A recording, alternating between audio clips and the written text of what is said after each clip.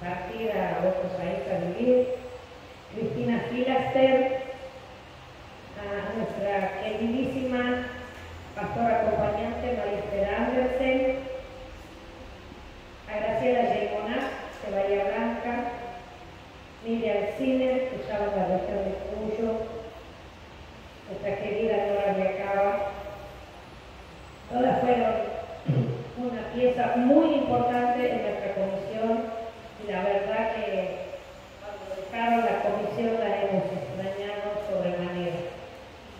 Y bueno, oremos por eso. Damos gracias. Oremos, oremos.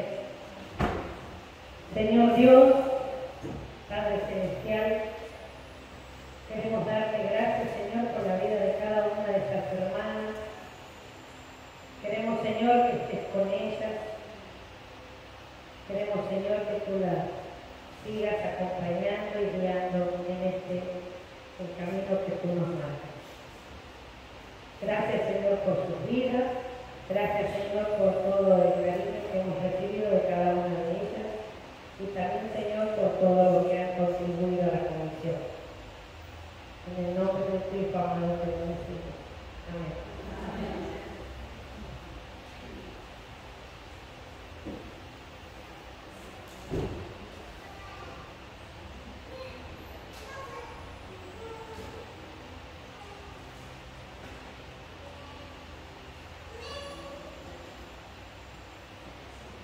Aclamen al, aclamen al Señor con arpas, alábenlo al son del salterio y del decacordio.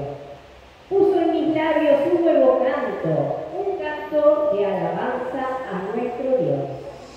Muchos vieron esto y temieron y su esperanza en el Señor. Tú eres mi Dios, yo te exaltaré y alabaré tu nombre, porque has hecho maravillas tus consejos siempre han sido verdaderos y firmes. Inclínate a escucharme, ven pronto en mi ayuda, sé tú mi roca fuerte, la fortaleza que me salve. Ciertamente tú eres mi roca y mi castillo, guíame y encamíname por causa de tu nombre. Has cambiado mi lamento en baile, desataste mi y me ceñiste de alegría. Por tanto a ti cantaré, gloria mía, y no estaré callada. Que Dios de la esperanza la llene de toda alegría y paz a ustedes que creen en Él. Tú eres mi escondite y mi escudo. En tu palabra he puesto mi esperanza. Amén.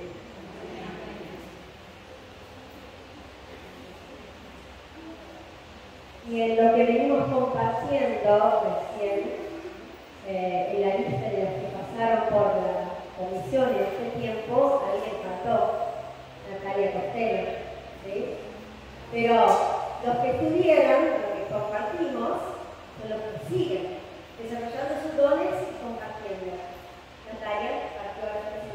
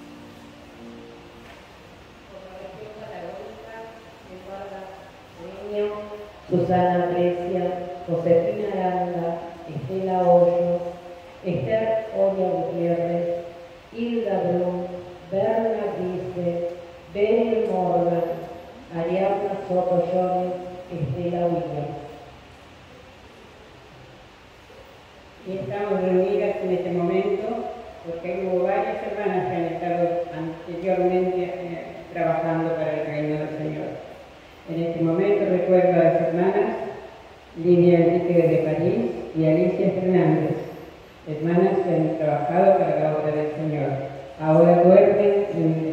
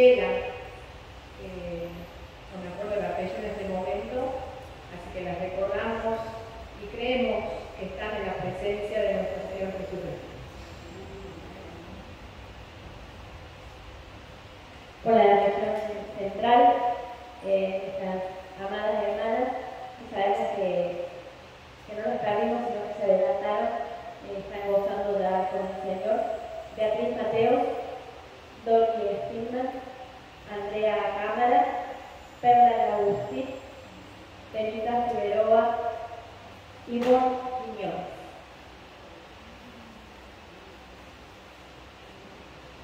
Oremos.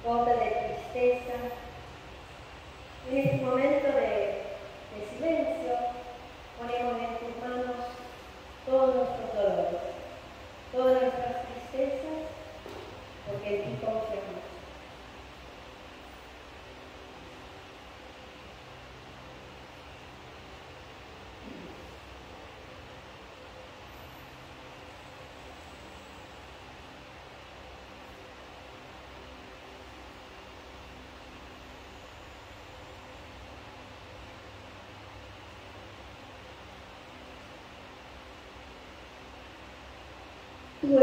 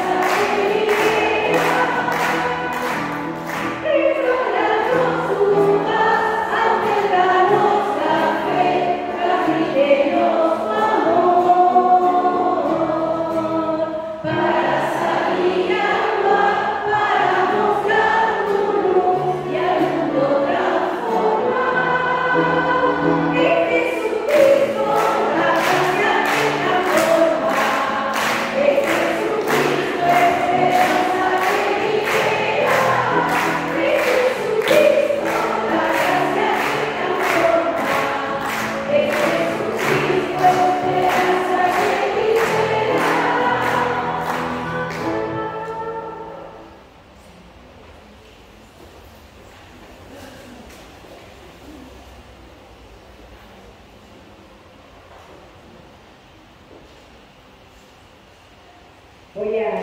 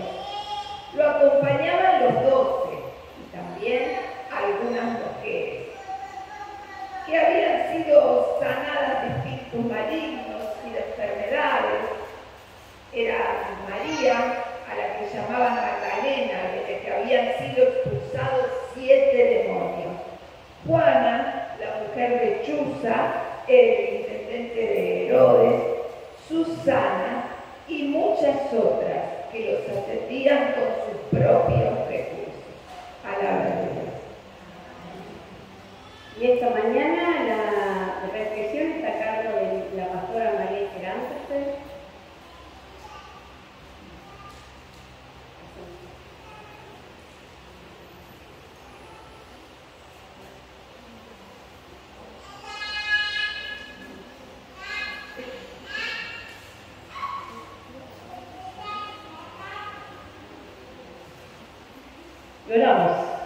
Al.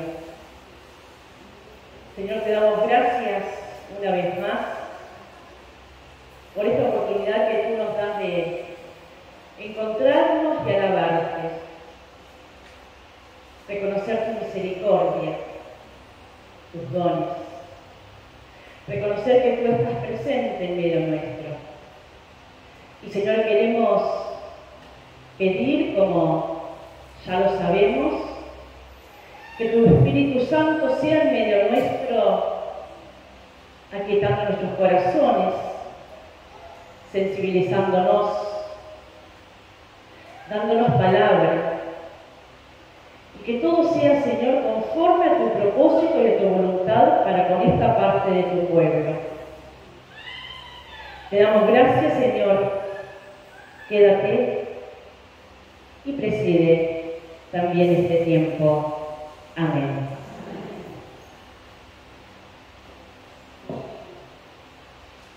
Mujeres desplegando señales, señales de fe, decía esta parte del texto para hoy. Y cuando leemos la palabra, la podemos mirar desde nuestras vidas, vemos cuánto tiempo, cuánto hace que las mujeres venimos demostrando señales de fe, demostrando señales de esperanza, demostrando que la novedad del reino de Dios es posible a pesar de las situaciones complejas y difíciles que como pueblo, como mundo vivimos. ¿Cuánto hace? ¿Cuántas mujeres? El texto nos ayuda a pensar en esas mujeres que eran esposas de gente importante, del imperio, pero que sin embargo pudieron apostar a algo distinto y novedoso, algo que les traía sentido a sus vidas.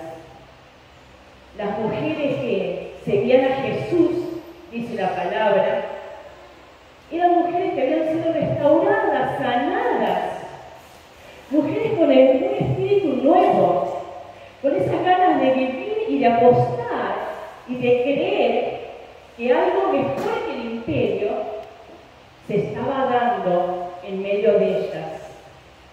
Mujeres que siguieron a Jesús, mujeres que dice con su tiempo, con sus recursos, con sus bienes, seguían a Jesús, lo acompañaban y fundamentalmente sostenían el ministerio. Mujeres desplegando señales, mujeres que son testigos en las situaciones límites, porque vaya si corrían riesgos esas mujeres, la esposa del emperador, las mujeres esposas de hombres muy reconocidos, vaya si corrían riesgos, sin embargo, apostaron su vida y todo lo que tenían a la novedad que viene de Dios. Mujeres que, aún en medio de la impotencia, la persecución, en medio de todas estas cosas que, que había, eran amenazas para la vida y amenazas que se concretaban. Sin embargo, cada una de ellas pudo seguir a Jesús, acompañar el ministerio y el movimiento de Jesús los tiempos finales, de la cruz. Hasta ahí las mujeres se fueron jugando y a darnos cuenta que después sigue la historia, porque las mujeres estuvieron siempre presentes y miremosnos hoy, nosotras, esta partecita pequeña del gran grupo de discípulas, de mujeres que somos fieles, que somos seguidoras y que le creemos que lo nuevo que Él prometió es posible en medio nuestro. Y también fueron testigos de ese amor entregado por Jesús. Ese amor infinito que Jesús mostró por todas y por todos. Demostró que no había nadie que no sirviera, nadie que no pudiera. Demostró que en el reino de Dios entran todos y entran todas. Demostró que el enfermo, el desplazado, los que sufrían, las que sufrían, todas y todos tenían lugar. Y ese es el reino que hoy estamos predicando. Esto que Jesús inaugura con su propia vida es lo que cada uno de nosotros y nosotras predicamos a diario desde los lugares en nuestras congregaciones. Entonces, este amor que se entrega este Jesús que se hace carne, este Jesús que está en la vida de cada uno y cada una de las suyas hasta el final, mostrando misericordia, mostrando y poniendo solidaridad, poniendo esa gota de distinción de que la vida toda, más allá de quien sea y como esté, vale. Eh, alguien dijo que estamos llamadas a ser el abrazo de Dios. Como humanidad, como mujeres, especialmente hoy, pero también los hombres, estamos llamados a ser, llamadas a ser el abrazo de Dios. Y cuando hablamos de abrazo de Dios, tiene que ver con esta ternura que Jesús tuvo, esta sensibilidad que Él tenía para con todos, para con todos. Eh, este darse de lleno, sin mirar a quién, este seguir compartiendo el reino a pesar de porque sabía que valía la pena, aunque sea para uno u otro. Este responder a las preguntas, aunque sean preguntas capciosas. Jesús entrega y da todo porque sabe que en la transformación de la vida, en la palabra hay plenitud. En la transformación está la vida nueva que viene de Él. Algunas, algunas mujeres como hoy vivimos aferradas a la vida, a la pasión de la vida. Queremos y sabemos lo que significa este cambio que Dios hace en cada una de nosotras y nosotros. Nos aferramos a la vida de, recién leíamos,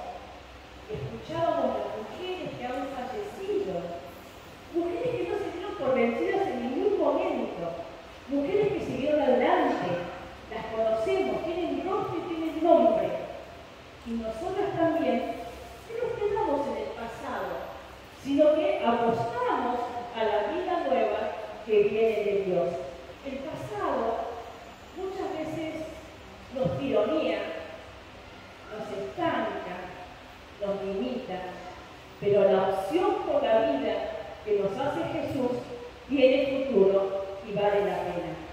Hay una teóloga, que es monja española, que se llama Pepa Forte, seguramente la han leído, la han escuchado, eh, una monja muy comprometida.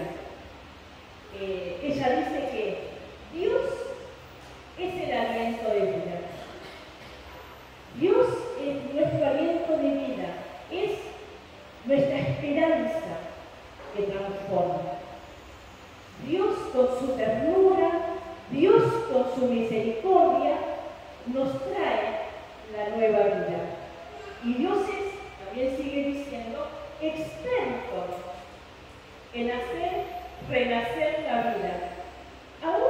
Los desechos. Dios empecina en mostrarnos la esperanza cuando parece que todo está perdido.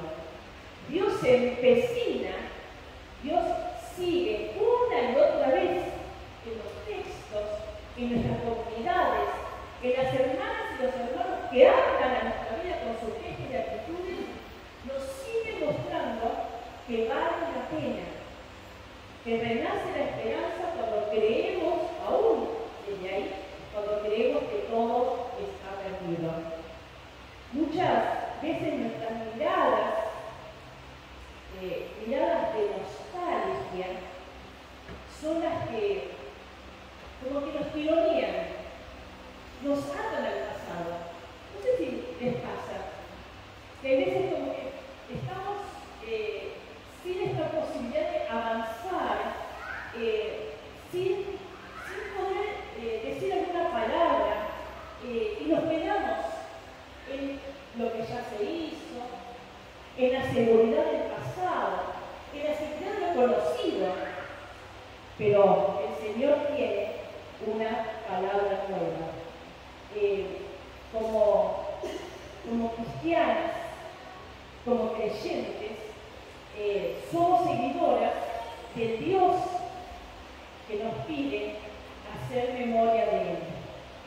Profesamos la religión de la memoria y cuando hablamos de la religión, estamos religando, volviendo a unir eh, aquello que está desconectado, aquello que está como en cortocircuito y que no produce el efecto que tiene que producir.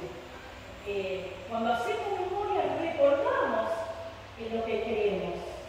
Recordamos este Dios misericordioso y solidario que se entrega por todos y todas, que nos sensibiliza, que se solidariza, que está con el que está sufriendo, este Dios que es el Dios que acompaña y que está con los desprotegidos, este Dios que nos anima a seguir para adelante. Hacemos memoria y cuando hacemos memoria eh, no nos quedamos en la nostalgia. Eh, y cuando decimos qué significará en concreto para nosotras hoy quedarnos en la nostalgia. Y cuando uno busca en el diccionario qué significa quedarse en la nostalgia o qué significa la nostalgia, hay como dos sentidos de nostalgia. Un sentido tiene que ver con lo pasado, eh, con lo que fue, con lo que en su momento nos trajo seguridad, nos trajo ánimo, nos trajo confianza, pero que hace que el presente se estanque. Porque miramos más el pasado que el presente y en consecuencia el futuro. Eh, con este sentido que tiene que ver con mantenernos y afirmarnos en el sueño que Dios nos da. Es el sentido de la restauración. La nostalgia que trae restauración cuando desde la comunidad Vemos el reino de Dios. Cuando en la comunidad y en comunidad recordamos la promesa que Dios nos ha hecho. Cuando en comunidad podemos seguir soñando, a pesar de recordar cuántas están hoy, a pesar de recordar de las situaciones complejas que la pandemia nos ha dejado, pero en comunidad podemos levantar la vista y seguir mirando para adelante como decía Denise, hace nuevas todas las cosas, transforma nuestra vida. Eh, porque es un Dios, es un Dios de vivos y no un Dios de muertos y que seguimos. Eh, recordamos también a María Magdalena, que es la primera mujer que estuvo en la resurrección, que fue testigo de la resurrección. Esta María Magdalena se dejó el sentido de su vida. ¿Recuerda? Cuando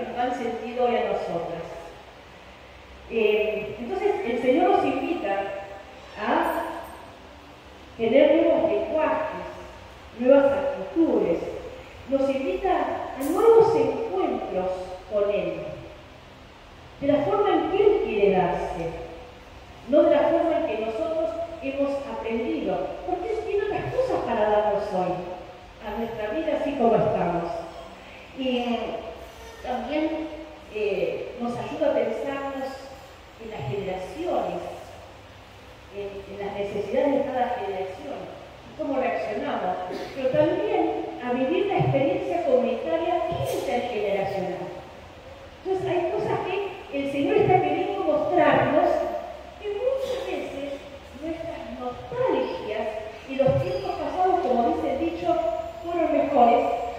impiden que podamos ver y vivir la novedad del reino, y lo que tiene Dios ahora aquí para nosotras. Hay un pastor bautista, Martin Luther King, eh, que nos recuerda que aunque sepamos que el mundo se termina, ¿qué nos invita y nos desafía a hacer? Seguir soñando, seguir sembrando, aunque sepamos que el mundo se termina mañana, esto que creemos que son nuestros sueños, son nuestras esperanzas que nos sostienen, desde la gracia que transforma y desde la esperanza que libera, que sigamos soñando. Porque creemos en este Dios vivo que hace nuevas todas las cosas. Porque, como dice el texto bíblico, Él es poderoso para hacer mucho más de lo que le pedimos y de lo que entendemos, según el poder que actúa en nosotros y nosotras. Jesús adelante, que podamos seguir abrazándolos con su palabra y que podamos seguir siendo como las primeras discípulas, testigos de este cambio que el Señor está haciendo hoy. Amén.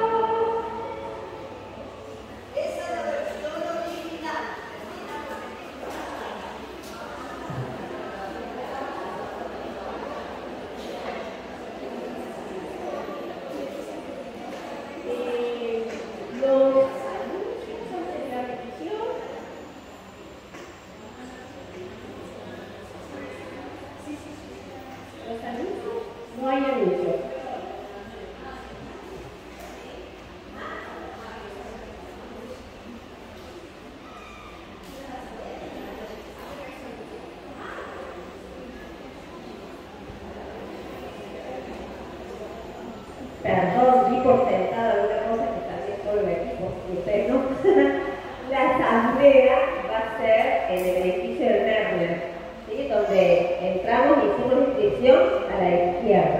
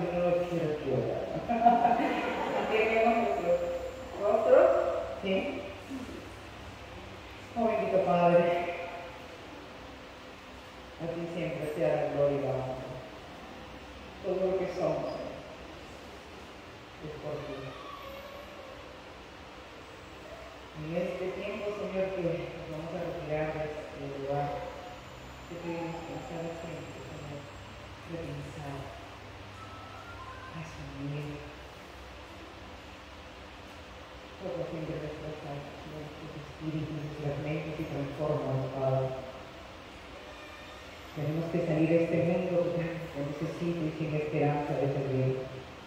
Déjanos a nosotros firmes, que cada día afirmemos más esta fe, esperanza, ese amor, cuando yo pueda mirar a